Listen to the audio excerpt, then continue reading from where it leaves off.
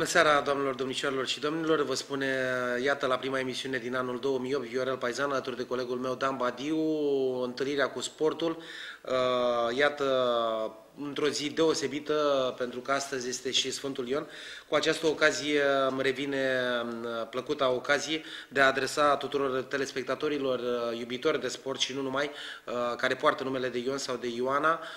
La mulți ani, multă sănătate, tot ceea ce vă doriți, stimați telespectatori, pentru că dumneavoastră sunteți cei mai uh, iubiți uh, și apropiați prietenei uh, televiziunii Atlas din uh, Vrancea, uh, o televiziune cu o arie de acoperire de acum uh, bine cunoscută.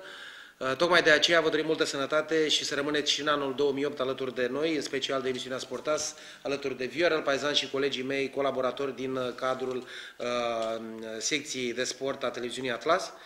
În același timp, revine de asemenea plăcuta ocazie de a adresa numele meu personal, dar și a colegilor care realizăm emisiunea Sportas, directorului televiziunii și nu numai, și doamnei Ioana Martiș și domnului Ion Martiș, la mulți ani, multă sănătate, tot ceea ce își doresc și ca și până acum, așa cum au demonstrat că sunt adevărați prieteni ai sportului, să rămână în continuare alături de noi și probabil într-una din emisiunile care vor urma cât de curând în acest an, îl vom avea invitat pe domnul Ion Martiș și ne-am propus propus acest lucru pentru a discuta despre uh, perioada uh, foarte frumoasă, e adevărat, de la acea vreme când însul uh, era președintele singurului club uh, reprezentativ de fotbal din județul Vrancea.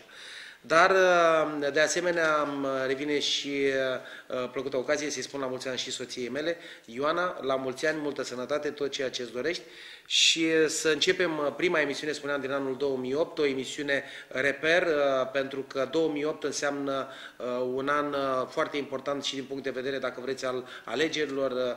Iată, un an electoral, un an 2008 care înseamnă un an important pentru fotbalul românesc, un turneu european european cum nu am mai văzut și poate cum ne-am dorit de foarte mult timp. 2008 înseamnă competiția supremă uh, în sportul mondial, Jocurile Olimpice. Uh, anul acesta uh, Beijingul va găzdui această competiție, acolo unde tricolorul românesc probabil va aduce multe, multe bucurii iubitorilor sportului din România și 2008 înseamnă mult mai multe lucruri pe care probabil le vom detalia, poate și anul în care să sperăm din tot sufletul că echipa de fotbal a județului Vrancea se va uh, salva de la retrogradare, un obiectiv important și poate multe alte repere care le vom mai pomeni și pe parcursul emisiunii. Dar aș vrea să vi-l prezint pe invitatul special de onoare uh, de astăzi, uh, pentru că alături de noi în această seară se află primul sportiv român calificat la Jocurile Olimpice de la Beijing uh, din acest an. Este vorba de Alin Moldoveanu,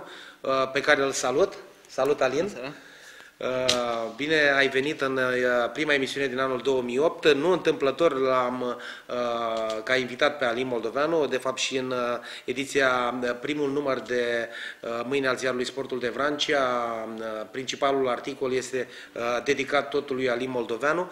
Iată-ne astăzi pentru dumneavoastră această emisiune registrată în Biblioteca Colegiului Național Unirea din Focșani, o unitate de învățământ reprezentativă pentru România, o unitate de învățământ situată în urma rezultatelor și performanțelor până în acest moment în primele 10 din România și în primele 50 din Europa.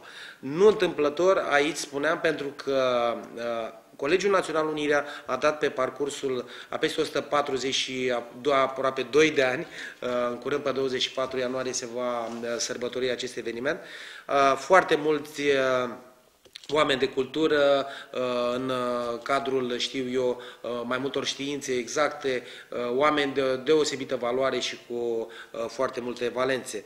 Alin Moldoveanu a fost timp de 8 ani elevul acestui liceu, de fapt și gimnaziu și liceu, Uh, iată și uh, poate că sper și uh, cred că nu greșesc, m-am documentat foarte bine, este cel mai reprezentativ rezultat sportiv obținut de unul dintre absolvenții Colegiului Național Unirea în prezent în această istorie de peste 100 de ani. Tocmai de aceea am ales această locație, m-am gândit poate să o fi făcut la poligonul de tir, poate uh, într-un alt loc reprezentativ al orașului și județului Vrancea, dar uh, până la urmă am ajuns la concluzia că aici este locul cel mai potrivit.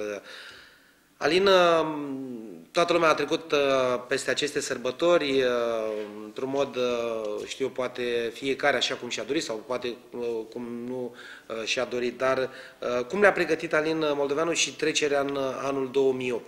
Un an important pentru tine. Păi, alături de prieteni. Am sărbătorit anul nou cu niște prieteni în, la Mera. O colegă de prietenii mele.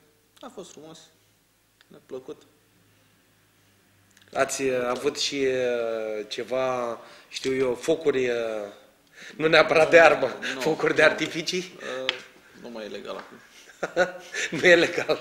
Nu, nu, nu, nu se mai găsesc artificii. Deci nu așa... se mai găsesc decât la televizor. Ce ați tras la, la televizor. nu mai, nu, mai, nu le mai... Ok. Uh, anul 2008, uh, poate pentru foarte mulți sportivi în acest moment în lume, uh, înseamnă uh, poate un sfârșit de carieră sau poate că își doresc foarte mult să-și încheie cariera cu un rezultat foarte bun. Uh, Alin Moldoveanu a reușit această performanță să se califice de mai mult timp. Da, am calificat din 2005. Uh, ți-a dispărut această, acest entuziasm? Sau... Da, ferește, abia încep, abia am încep cariera. E prima calificare, mai am, eu știu, 5-6 în față. Ok, stimați telespectatori, ca să ajungem la acest uh, epilog 2008, uh, de fapt, uh, mai sunt destule luni până la marea sărbătoare a sportului din, din China, de la Beijing. Să dăm un pic filmul înapoi și să-l cunoaștem mai bine pe Alin Moldoveanu. Sper eu să fie o emisiune de bun augur, atât pentru noi, cei care realizăm, pentru televiziunea Atlas, dar în special pentru Alin, Uh, și uh, mi-aș dori foarte mult ca această emisiune să fie, de fapt, o emisiune care va pregăti emisiunea uh, de la sosirea de la Beijing al lui Alin, când probabil ne vom bucura cu toții de un rezultat extraordinar. Unde s-a născut Alin Moldoveanu? Când? S-a născut în Focșani, pe 3 mai 1983. Părinții? Părinții tot din Focșani, cum a început uh, cariera, să spunem așa, între ghilimele? A, cariera sportivă sau? A elevului. A uh, elevului. Păi, la, unde școala, ai făcut, uh, la școala 7 am făcut ciclu primar. După care, în gimnaziu, colegiul, liceu Unire de atunci. Și ulterior, Erau clase 5-8. Da. Pe cine ai avut dirigintă în clase 5-8? Doamna Lupului. Doamna, doamna profesoara Lupului. Și în liceu? Și în liceu doamna Dochea. Chimia. chimia Ți-a plăcut da. chimia? Da, da, da. Doamna Doche m-a făcut să-mi placă. Nu se putea să nu placă chimia. Cunosc uh, oarecum uh, și uh, prima ta um, încercare de a ajunge către poligon, pentru că la acea vreme unul dintre personajele care ție ți-au schimbat într-un anumit, fel, într anumit fel viața. Domnul uh, antrenor Adrian Alaci, uh, parcă îl și văd intrând pe poarta liceului, într-o pauză, întrebându-mă uh, când au ore clasele mai mici, de a șasea, de a șaptea, pentru a putea face o selecție. Îți mai aduce aminte acest episod, cum s-a întâmplat? Da, da, da. Țin minte că a venit la ora de sport, eram toți aliniați și un personaj ne uitam noi așa, cam ce ar dori acel domn și ne spune, care vrea să vină să facă tir. A, tir, în Focșani, a, mișto. Ia să, ia să mă duc. Și ați fost un grup mai, mai mare de, de copii care ați fost atunci. Da, da, ne-am întâlnit acolo, am, zis, am vorbit inițial, voi mergem, mergem. Da, și, și ulterior acolo am ajuns cu băiatul doamnei diriginte a lupului, Octavian Gustu. El, el m-a dus că el deja făcea tir el, de el câteva făcea. luni, da? Și am mers împreună și, păi, uite, aici se face. Și am... Cam din câte antrenamente l-ai, l-ai bătut pe A, câteva luni, bune. Aproape un an, după un an. Nu, păi, trăgea mult mai bine. Bun, să, uh, cam din uh, un grup de 20-30 de copii câți ați fost, nu? Ați o, mai rămas? Mulți au fost, au fost. Să fac selecție în toate școlile din oraș. Da? A, da, erau da, mult da, mai mulți. 3, 300 cel puțin. Extraordinar. 300 cel puțin. Alin, în timp, așa, selecție normală. Uh, o selecție normală, în timp din 300, cam câți ați mai rămas din generația Unu. aia? Ha, bună. Unu. Și bun. Da, iată, iată uh, într-un interviu luat domnului Alaci, uh, chiar una din întrebări a fost care a fost rețeta descoperirii unui campion olimpic. Iată, într-un fel ai, ai răspuns și tu la, la acest rețeta, lucru. faci selecție. Ce, ce a urmat? Uh, Cam la ce perioadă au început să apară concursurile? Primul concurs a apărut la șase luni. Deci, prin martie, la sfârșitul martie, a fost un Anul? concurs la Bacău în 97. 97. 97. Concurs la Bacău, foarte entuziasmat, băi, merg la Bacău. Am venit pe locul 2 atunci, după Octavian. Guzu, fai, ce era pe mine, domne, fai, locul 2, era un concurs, era o noutate în viața mea, am zis, gata, e mișto sportul, gata, fac sport. Ai uh, avut o probă de la bun început sau domnul Adrian Alace a trecut mai... Nu, nu, nu, da, asta a fost aer comprimat. Ulterior, prin 2000, am încercat să fac și culcat la 50 de metri. Prin 2003 am renunțat. Am renunțat, deci am făcut 2000, 2000 2001, 2002, Deci 2003, acum 4 ai, ani uh, și am renunțat. De fapt, Și acum e am proba cu profilat care ai pe o singură început Probă, da. și proba da. care uh, o vei face și la Jocurile Olimpice, dacă Și vreți să ne restul- spui, restul să vieții. înțeleagă și, Cât o să mai și trăiesc. telespectatorii. Deci Da. care este denumirea corectă a acestei probe? Uh, Pușcă aer comprimat 10 metri, 60 de focuri. 60 de focuri. 60 de focuri. Există un anumit timp în care trebuie da, să da, da, trase? 2 ore și 45 trebuie să tragi 60 de focuri, plus focuri de, de, de încălzire care sunt nelimitate, condiția să te încadrezi în încadrezi timp. în timpul Da. respectiv. Da, să te încadrezi într-o oră și Ok. 45 de minute. Iată o perioadă frumoasă. La un moment dat, uh, în timp, gimnaziu, a, a venit liceu. uh, Deci știu- eram în clasa 7 când am Exact. Uh, uh, După ce s-a terminat și gimnaziu, a venit liceu, tu ai continuat activitatea. Uh, Totuși un sport individual, un sport care uh, nu uh, îți dă la prima vedere niște satisfacții deosebite sau uh, Da, asta a fost ce- cea mai mare satisfacție a mea, că era Exact. individual. Era individual, nu, nu, nu-mi plăcea să pierd. Și nu-mi plăcea să pierd mai ales din cauza altuia. Adică dacă pierdeam din cauza mea, nu, asta e, n-am putut mai mult. în Dacă această pierzi din carieră, cauza altora, exact, Uh, cariera de, de copii juniorat, uh, să spunem, uh, care au fost uh, colegii din țară care, uh, cu care te-ai bătut uh, o, au fost... uh, și pe care Am ai avut și lăsat de în urmă aici. așa pe rând?